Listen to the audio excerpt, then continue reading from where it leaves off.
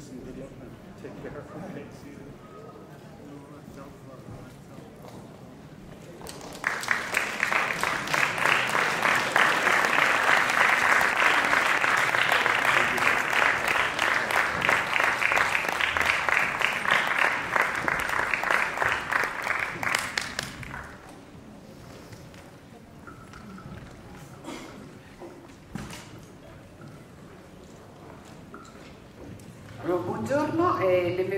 Conferenza stampa di Accusada. Eh, vi presento gli ospiti al tavolo eh, che sono i produttori eh, Giulio Chavemontes e Benjamin Domenech. Eh, forse, eccolo, è arrivato, eh, Mattia Samostedin. Eh, gli interpreti Leonardo Sbaraglia e Lali Esposito e il regista Gonzalo Teballi. Allora, vorrei cominciare con una domanda per il regista. E, al di là, sento un telefono che squilla, per favore.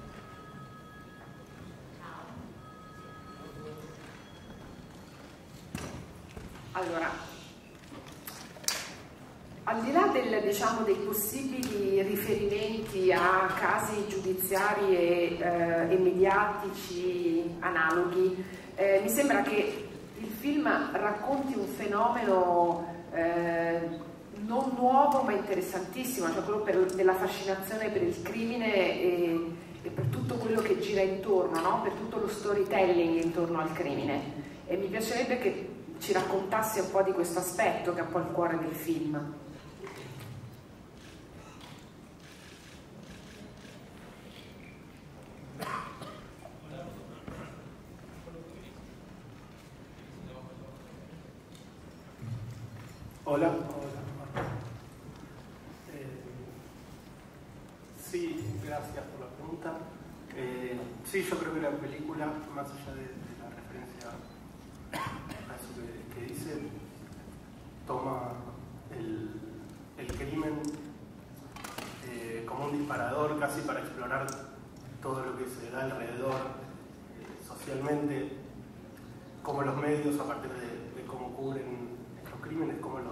Eh, de alguna manera los ponen en escena y esa fascinación eh, social que despiertan eh, generan un montón de dispositivos alrededor. Entonces la película se propone explorar eso, desde, desde un núcleo familiar, desde una protagonista que está afectada por esta situación y, eso después se expande también a, la justicia, a los medios, a, los periodistas y a cómo desde los distintos actores sociales eh, se generan distintas dinámicas y relaciones que en muchos casos me resultan muy paradójicas y, muy que permiten observar esas dinámicas sociales que son tan contemporáneas.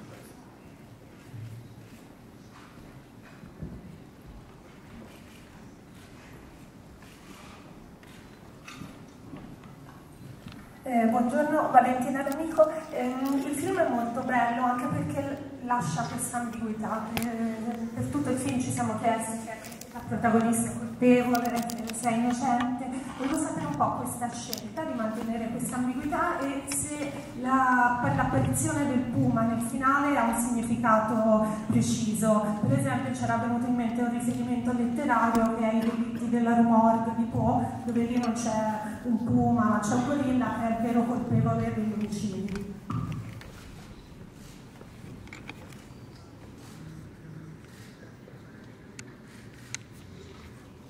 Eh, es muy linda la referencia, también me gusta, no, no creo o no quisiera tampoco dar una explicación o una, sí, una explicación tan concreta de eso. Eh, creo que la película trabaja mucho sobre la ambigüedad de la imagen, sobre cómo este procedimiento que nosotros hacemos cuando vemos eh, un caso por la televisión, por ejemplo, o vemos gente asediada que está atravesando este tipo de situaciones, podría incluso ser en otro tipo de, de casos mediáticos, que sean criminales o, políticos o lo que sea, pero se da mucho este fenómeno de estar observando un rostro, escrutinando como si no pudieran en los objetos o ese rostro descubrir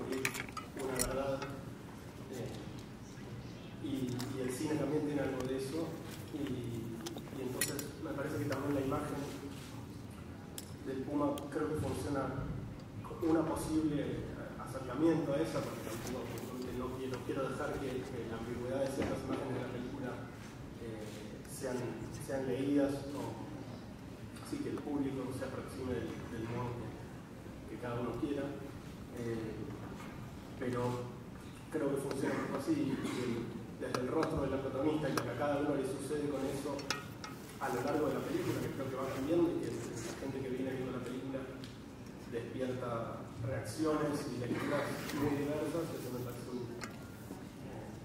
algo muy interesante que comprueba esa, ambigüedad de la imagen sobre la que trabaja la película.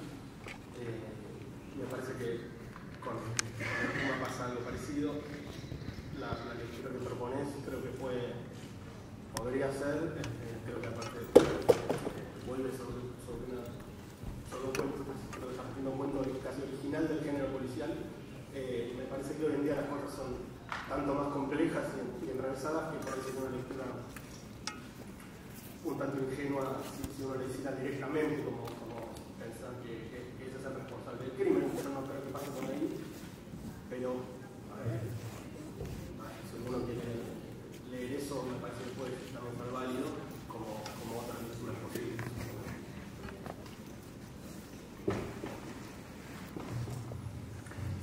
subito. Io avrei una domanda per Lali.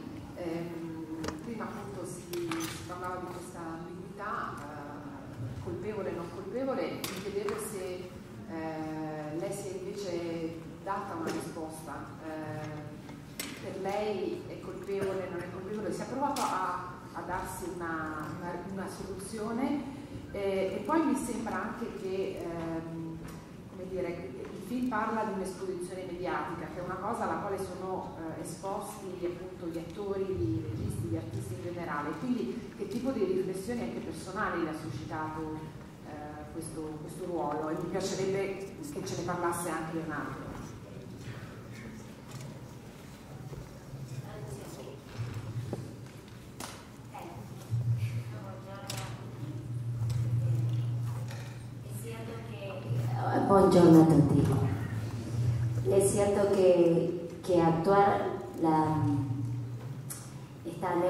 Neutralidad, por llamarlo de alguna manera, fue difícil. Eh, gracias Gonzalo por ponerme en ese lugar tan, de verdad de, mucha búsqueda. Eh, tengo una respuesta interna que trabajamos con el director sobre si Dolores es culpable o no, que esa me la guardo entre nosotros, porque lo que el énfasis estaba puesto justamente en la culpa. Y trabajar la culpa no necesariamente es porque lo hiciste, sino por cualquier otro tipo de culpa que te genere la situación que estás viviendo. Entonces esa culpa no dicha, pero sí vista en los ojos y en el estado anímico y emocional de alguien, claramente te hace a vos sacar tu conclusión de si es culpable o no, que es un poco lo que decía Gonzalo. Nosotros en una cara estamos acostumbrados hoy a a definir en nuestra cabeza las historias, ¿no? Y quiénes son esas personas. Y, esas expresiones, ese dolor y esa, esa forma anímicamente de estar de alguien puede ser un montón de otras culpas, no solo haberlo hecho. Y ese fue el lugar para pararme como actriz y trabajar a, a Dolores y que bueno, para afuera se pueda leer esta ambigüedad y esta, no llego a darme cuenta realmente si lo hizo o no, eh, que nos parecía lo interesante porque, como bien decían antes, el foco no está puesto en la película solo en entender si Dolores lo hizo o no lo hizo, sino en comprender todo el sistema eh, alrededor de un caso similar, ¿no? El sistema familiar, las relaciones humanas, eh, las redes sociales, la televisión, como a veces nos, cuentan un cuento y enseguida es lo que, lo que creemos. Y, bueno, todo eso, trabajarlo desde la ambigüedad como actriz, fue lo más difícil. Pero uno se puede parar, repito, en un lugar de culpa y de dolor que genere confusión en el otro, porque puede no haberlo hecho, sin embargo sentir mucho dolor por, por ser quien, quien es la acusada. Eh, que sí fue difícil como actriz, muy interesante eh, encontrar esos, esas teclas ¿no? y esos lugares eh, pero bueno, en la dificultad está lo extraordinario, así que fue muy, muy placentero también.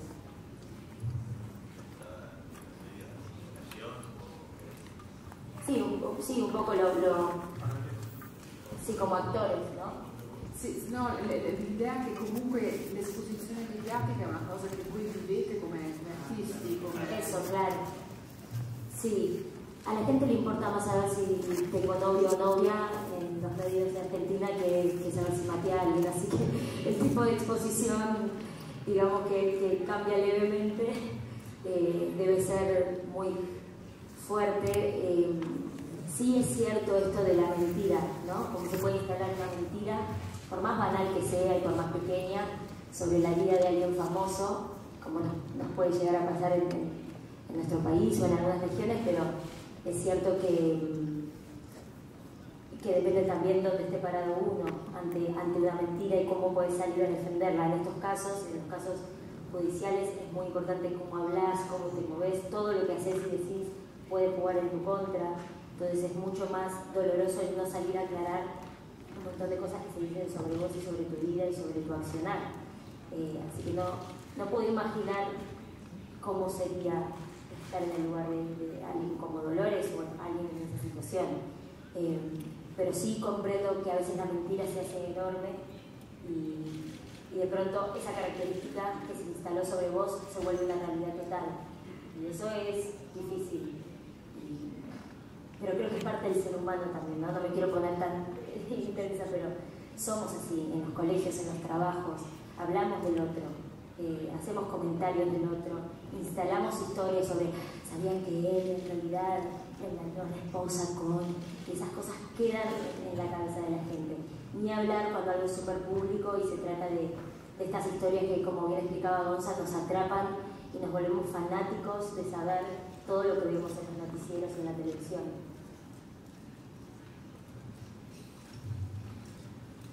Y creo que estoy de acuerdo, creo que el, gran tema o el, gran asunto es, eh, yo creo que para, el conjunto de la sociedad eh, y para nosotros en particular que, estamos de alguna manera expuestos a los medios, eh, el tema es no quedar preso de eso, ¿no? o sea, no quedar encerrado en esa situación, no creer que ese, definitiva es el único mundo real, es parte de una realidad y parte de una identidad del mundo real, pero hay otras muchas identidades muy complejas y que, que hacen justamente, como decía Pedro Mujica ayer, a la, propia libertad. Eh, y la propia libertad está acá, ¿no? Eh, el tema es que, claro, que prácticamente todo el sistema, o gran parte del sistema hoy día está, está construido sobre, sobre eso, ¿no? sobre ese nivel de sobre la política se basa en eso, los medios, digo, las promociones del trabajo que hacemos se basan también en eso. Eh, de alguna manera parece además que cuanto más íntimos somos, ¿no? más empáticos al mismo tiempo somos, entonces el tema es no, no quedar justamente uno como individuo, como ser humano en la propia identidad, quedar preso de eso. Y yo, de alguna manera, creo que la película habla también de eso, ¿no? De, se, usa como soporte, ¿no? De, el, tema de, este juicio, de, este, esta preparación de, toda la familia frente al juicio. Y, en principio los primeros que quedan encerrados son ellos, ¿no? Como familia y en sus propios vínculos. Eh, y creo que, bueno, a mí me parece que esto es lo más lo más poderoso ¿no? que, que, tiene y que cuenta la película.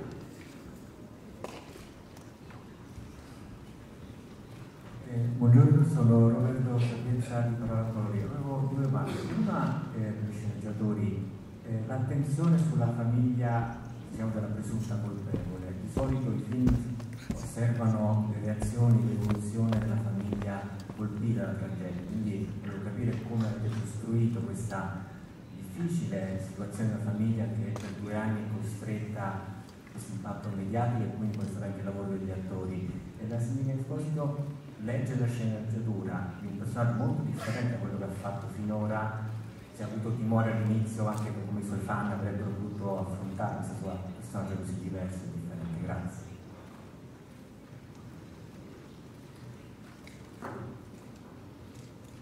Rispondo al nome della guionistas. Eh, la película, sí, casi la propuesta original de la película para mí policial desde la de los vínculos familiares, pararse del otro lado del modo en el que normalmente eh, seguimos esas historias, que sería a la distancia, a través de los medios, donde, donde vemos cómo esos sujetos están casi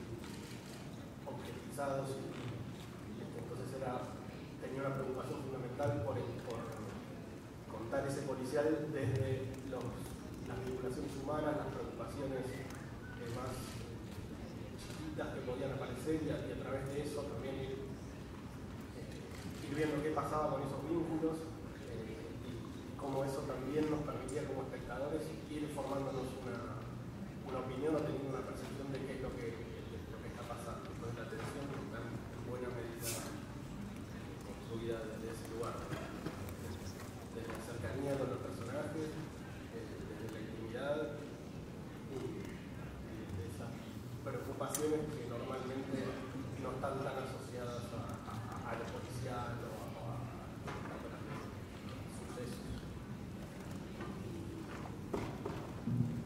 Eh, con respecto a, la pregunta para mí, sí es verdad que no, había nunca hecho un personaje con estas características, una película con estas características y por ende nunca había tenido que ir tan profundamente en la búsqueda de, un personaje. Esto no banaliza la comedia o, otras maneras de actuar, que también tienen otra búsqueda y son interesantes por otras cosas. Eh, pero sí fue un proceso de mucho aprendizaje, de, no te digo comprender la situación del personaje porque es realmente muy avasallante y profundo el, drama que vive Dolores, pero sí obviamente de ir a buscar esos, esas oscuridades donde se encuentra una persona a la que le sacaron todo, su privacidad, eh, su vida, su, su, manera de ser, hasta, hasta eso. Eh, y para ir hacia esos lugares fue un trabajo con Gonzalo de muchos meses previos al rodaje, donde trabajamos profundamente en lo físico, en, ver realmente otra, otra cara de mí, que particularmente en mi país se me conoce por hacer más bien comedias y estar más vestida de payaso que otra cosa. Y de pronto eh, ir a buscar esto fue muy interesante, cuestión de leer mucho, de hablar con psicólogos, criminalistas, hasta fiscales, gente que, con la que tuvimos la suerte de compartir y, comprender este mundo tan ajeno a uno, eh, por ende hiper interesante. Eh, pero fue una construcción de mucho tiempo, fue llegar al rodaje realmente ambos con Gonza preparados para, para esa, eh, esa canción que íbamos a, a, cantar en esta, en esta película. Eh, y eso me hizo también a mí como actriz, que nunca había hecho algo así, eh, estar mucho más relajada a la hora de, de estar en set, encontrando estos picos emocionales y estos momentos super dark que tiene que tiene Dolores, pero sobre todo un, un, trabajo de mucha construcción con el otro. Digo, lo mismo sucedía con Leo es un, y con Inés Esteves, que es quien hace de, de mi madre. Eh, fue realmente, un, como la película cuenta, esta relación eh, en la intimidad de esta casa, estas relaciones humanas, y, y, la, y cómo se quiebran las mismas por algo así. Eh, el trabajo fue directo con cada actor, ¿no? ¿Qué tipo de relación tiene Dolores con su padre? ¿Cómo se miran? Eh, hasta, hasta cuántos segundos se pueden mirar, digo, to, todo era en un nivel de detalle y de trabajo intenso que sin duda para mí fue algo súper nuevo y además está, decir, mi agradecimiento a, a, Gonzalo como director de confiar en una actriz como yo para hacer algo tan diverso. Gracias, mille. Uh, just wondering what you think of that.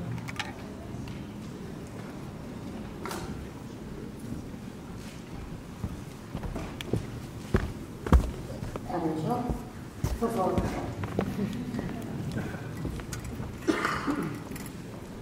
Pienso que.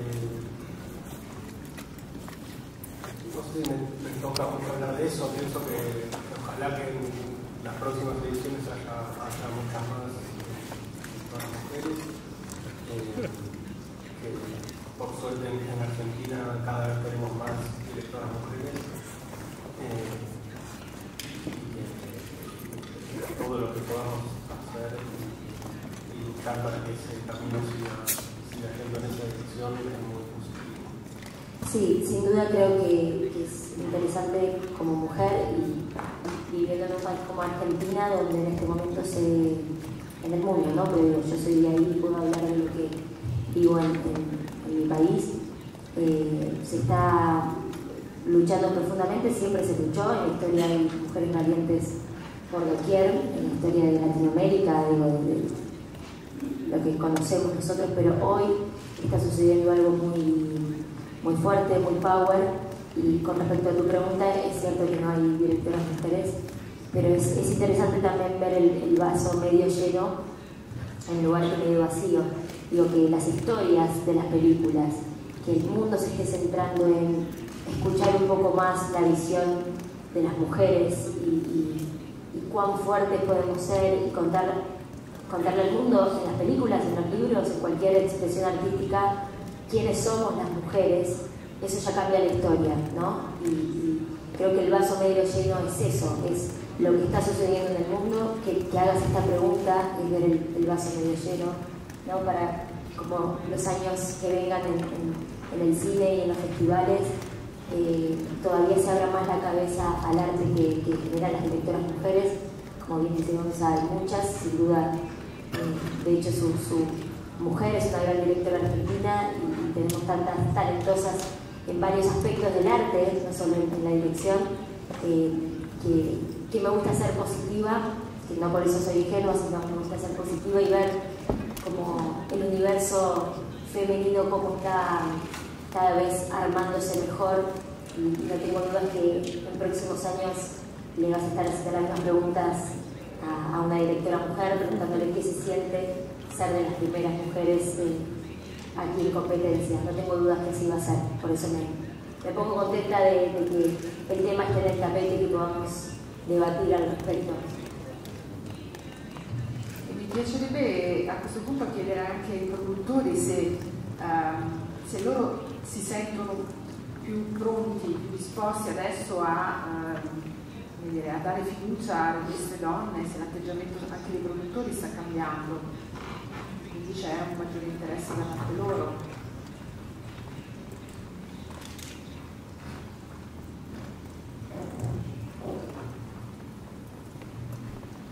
Buenas.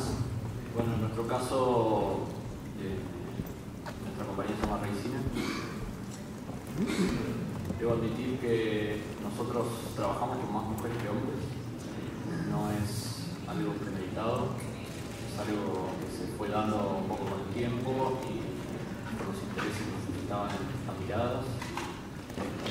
Con genuinas sentíamos ambiciones del mundo, los temas que tocaban las películas.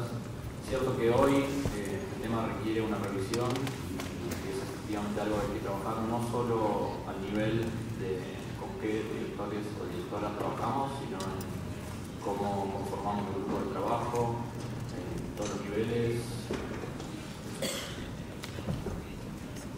qué historias elegimos, me parece que es, el rol de todas las personas en la industria en este tema. Se trata sobre los directores los directores o direcciones puntuales que por ahí tienen más visibilidad que otras, sino que me parece que sería todo, con lo cual sí, efectivamente hay una mirada puesta sobre el tema y sí creemos que hay que aplicarla con urgencia para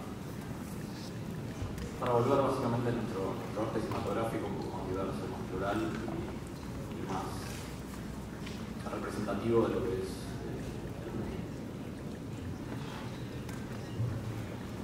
eh. Eh, sí, bueno, buenas tardes. Eh, ah, mientras los escuchaba, recordaba que en la década del 90 dos mujeres argentinas, Rita Santos y María Luisa Bernal, presentaron una película aquí en competencia en Venecia, dos mujeres eh, cineastas eh, fundacionales eh, en lo que fue el cine. Recojo lo que dice Lali, en la Argentina tenemos grandes artistas, cineastas, actrices, mujeres. Lo más interesante en este momento es el público realmente lo que quiere ver hoy es esos temas, esos personajes, esos objetos y esas historias. Eh, y los productores definitivamente hoy eh, tenemos que pensar, tenemos que orientarnos eh, en todo lo que hacemos en, búsqueda de la búsqueda de la en los contenidos y en, en, las películas, porque eso es lo que nos está interpelando hoy y es el cambio que está próximo de la suerte. Bueno, yo en mi caso quisiera sumar también que pienso que es fundamental impulsar la pluralidad lugar, ¿no? Eh, desde la parte que nos compete como industria, en el. Eh, caso del piano, eh, nosotros somos una empresa que tiene un equipo de trabajo principalmente mujeres, ¿no? y yo creo que esa también es eh, un aspecto fundamental, ¿no? porque no se trata nada más de que los hombres de su posición de poder apoyen un cierto tipo de historias, sino más bien que ayuden a una transformación de cómo está estructurada la industria para que sea realmente plural en todos los sentidos, ¿no? tanto la gente que toma decisiones como eh, la gente creativa que se involucra en la industria y que eso permita realmente una diversidad genuina ¿no? y que no sea solamente simbólica. Eh, purtroppo non c'è più tempo, mi dispiace, dobbiamo fermarci qui. Grazie a tutti.